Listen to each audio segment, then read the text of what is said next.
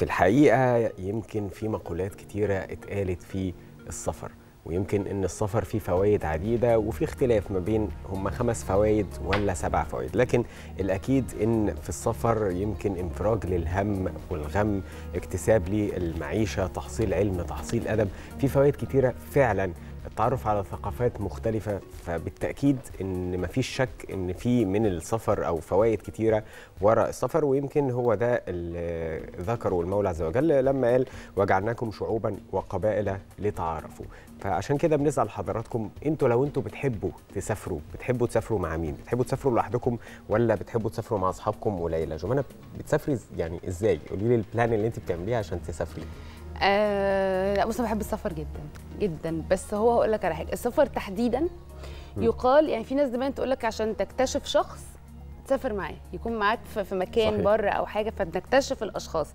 أنا بالنسبة لي من تعرف أهم فلان؟ لأ عشرته آه عشرته يبقى ما تعرفوش. بالظبط كده. عشرته لو لأ يبقى ما تعرفوش صحيح. طبعا آه السفر كمان آه يا أحمد يمكن ال- العشرة فيه بتبقى مختلفة شوية لأنه بتبقى الموارد محدودة وبتبقى كل حاجة محدودة وبتبقى في مكان غريب فعارف غريزة ال- البقاء لو حصل صحيح. لو حصل موقف صعب بتظهر بقى يعني إزاي بتتصرف وكده. فأنا بالنسبة لي في أصدقاء م...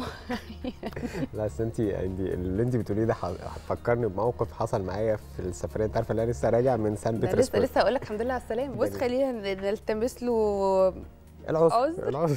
مش هقول لك ده 100 بقى. عذر أقول لك عذر واحد. آه وممكن عارف لو لو لو حد بس جرى له حاجة يبقى في حد تاني عشان يعرف آه يساعد بالظبط. يبقى حد بره. عشان برضه يعني نبقى نبقى آه، حقهم حقانيين يعني. كملي يا جمعة. أنا ف- عارفك منصفة. آه طبعا أهم حاجة والله. فبشكل عام يعني ال- السفر فعلا ال- ال- الصحبة اللي فيه تبقى من أهم ال- الحاجات اللي لازم تاخد بالك منها وأنت مسافر أنا بالنسبة. لي صحاب السفر معروفين. يعني آه، السفر لو أنت مسافر مع حد مختلف عنك قوي أو في حاجات بتضايقك. قوي بجد مش هتتبسط صحيح وحقيقي السفرية بتقلب ايا كان نوع السفرية بقى مسافر شغل مسافر تتبسط مسافر تعمل أي حاجة هت- هتبقى متضايق لازم. يبقى فيه اهتمامات مشتركة على الأقل ما بين الجروب اللي مسافر مع بعض. اهتمامات مشتركة أو على الأقل في تفاهم يعني تكون مع حد متفاهم. يعني أحيانا بتبقى مسافر مع الشخصية اللي بتبقى باصي أو الشخصية اللي لازم اللي هي بتقوله هو ال- ال- صح. اللي يحصل. ممكن نسميها متسلطه القائدة أو اللي هو بيحب آه، آه، بيحب يعني اللي هو اللي يليد أو اللي بالظبط. لازم هو إحنا النهارده هنعمل كذا. طب أنا مش عايزه أعمل.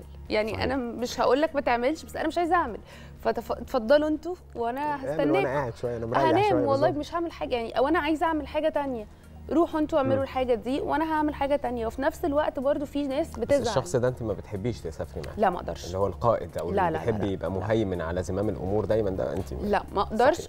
بحب أسافر مع أشخاص ليها رأي وعندنا plan مع بعض أو حتى يمكن أنا ما بحبش أعمل ال plan يكون حد عنده خطة فعلا بس للسفر بنشور. وبرنامج أمركم للسفر. شورى بينكم. بالظبط. فكرة ان بس إحنا بنشور بعض. نتكلم مع بعض. صح. وحتى لو أنا قررت إن في حاجة مثلا عجبتني قوي فأنا عايزة أكررها تاني ومش عايزة حاسة إن أنا مش مش حابة أروح اللي مثلا اللي المفروض اللي في الخطة أو في البرنامج النهارده. لا حد بقى يزعل منك ولا حد بقى يعمل مشكلة ولا لأ لازم نروح ولا اليوم ولا السفرية كلها تتقلب.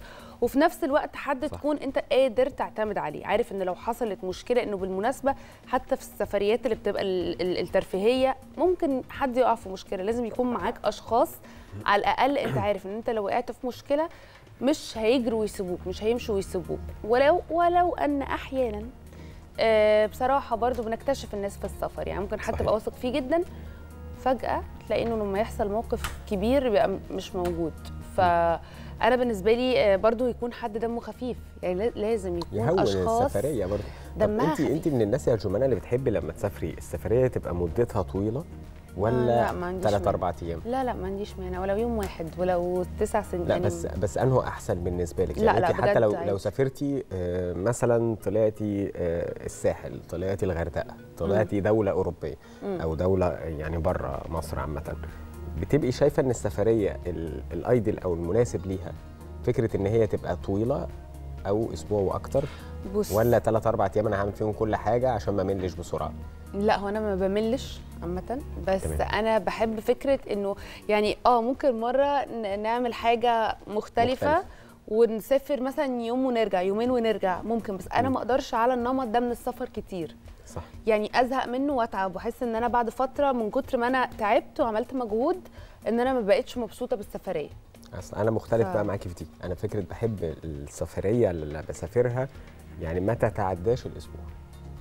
أربع بس الأسبوع ده. ده فكره ده حلو بقول لك أربع خمس أيام مم. لو زادت قوي ما أجيبش الأسبوع لأن بحس إن بعد الأربع خمس أيام أنا عملت كل حاجة أنا عندي شغف إن أنا نازل مكان حسب جديد السفريات فيه يعني في حسب المكان طبعا اللي أنا آه. رايحه في حاجات في في تخطيط وفي بلان صحيح. من حاجة ولا لأ بس أنا بتكلم الحاجات اللي هي زي مثلا آه، الساحل زي مثلا السخنة زي آه، الحاجات اللي هي بتاعتنا اللي أنت تقدري اللي أنت علشان إحنا مصريين فعارفين عارفة اللي هو ثغرات السفرية دي فين فأنا هطلع. فين وأروح فين وأجي منين فأنا بالنسبة لي السفرية دي هي أربع خمس أيام. بعمل فيها كل حاجة. ببقى أول يومين ثلاثة طحن عارفة اللي هو أنا عاوز أخلص ال- البحر بسرعة اللي هو يعني ال- الفكرة بتبقى كده بالنسبة لي. أربع خمس أيام وبحس بعدها بملل. ليه؟ لأن بيبتدي بقى الموضوع يتكرر.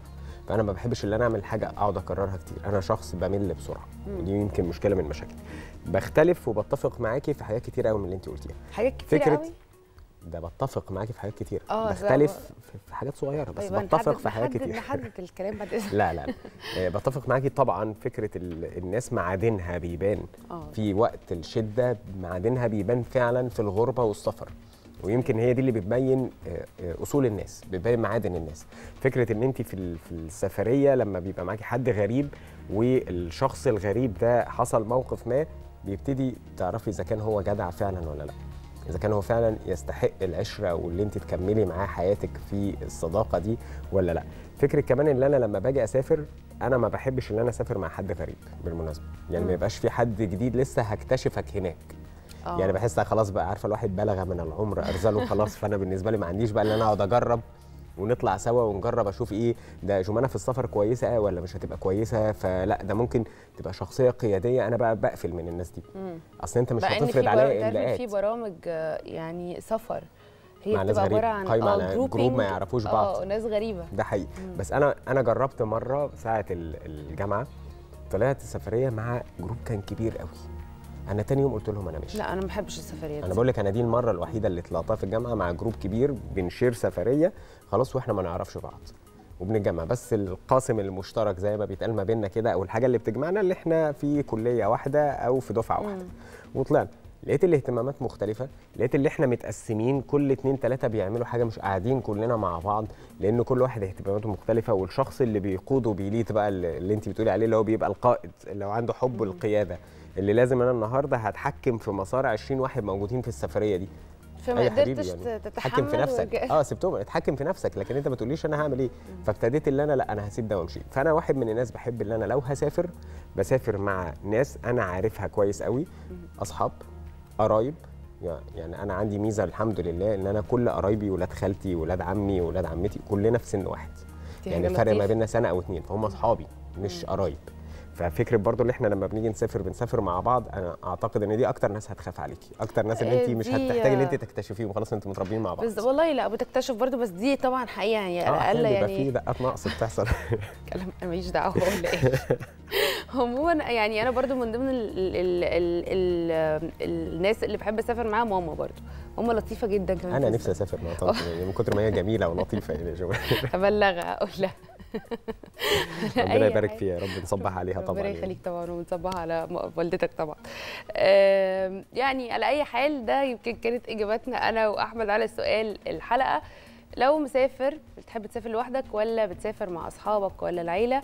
ومين اللي بتحب تسافر معاهم؟ اعمل لهم منشن وكده. حاجة على هامش السؤال اللي موجود طبعا معانا على صفحاتنا على آه، فيسبوك. خلاص الناس نتائجها في ثانوية عامة طلعت وكله جاهز دلوقتي. صحيح. كله بقى يقدر يسافر كده حبة قبل الجامعات. وقبل ما يبتدي بقى السنة الدراسية الجديدة ويفصل اللي حصل حصل خلاص. وأكيد كل حاجة حصلت هي خير لينا. نتبسط.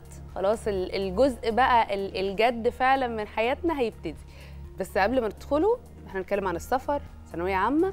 سافروا اتبسطوا. أولياء الأمور خلاص اللي حصل حصل. ما تنكدوش على اولادكم لا هو ما فيش حاجة. حصلت. يعني انت اللي بتصنع القمة ما فيش حاجة اسمها كليات قمة. يعني صحيح، عشان نبقى متفقين صحيح، بس صحيح. اي مكان مكانك بقى. صحيح فعلا. ما بقاش فيه خلاص مصطلح كليات القمة ده خلاص. طبعا بكل تأكيد إن كان آه، مجال الطب أو مجال الهندسة هي مجالات مهمة جدا جدا جدا ولها كل الاحترام والتقدير لكن هي مش الدنيا كلها طب, وهندسة صح. خالص. وبالمناسبة أي حد يقدر ينال لقب دكتور ياخد رسالة دكتوراه ويقدر على فكرة هنديله دكتور برضو عادي لو دي المشكلة إن في بجد بعض أولياء الأمور بتبقى مشكلتهم الألقاب مش أكتر. فابسطوا ابسطوا ولادكم سفروهم وخلاص اللي حصل حصل نبتدي تركز في اللي جاي. مرة تانية سؤالنا لو مسافر بتحب تسافر لوحدك ولا تسافر مع أصحابك ولا مع العيلة؟ اعملوا لهم منشن الناس اللي بتحبوا تسافروا معاهم طبعا لو بتسافر لوحدك. إحنا هنعرف الموضوع ده. السؤال ده موجود على صفحتنا على فيسبوك مستنيين إجابات حضراتكم. عشان نستعرضها مع بعض في حلقة النهارده. صباح الخير والسعاده على حضراتكم جميعا. صباح الخير يا مصر.